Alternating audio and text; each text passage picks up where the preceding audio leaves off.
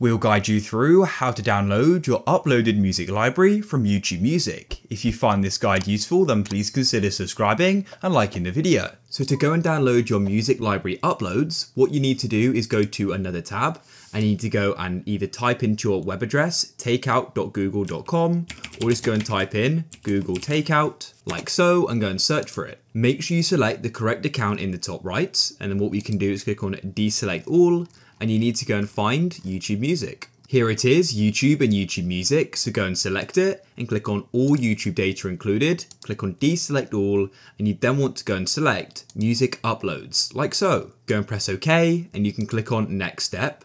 You can choose how it's going to be transferred, we'll have a download link, we can click on export once, you can then choose the, file type, we'll just do zip, and for the size, uh, this will depend on how much music you've got, but I'll just do 50 gigabytes.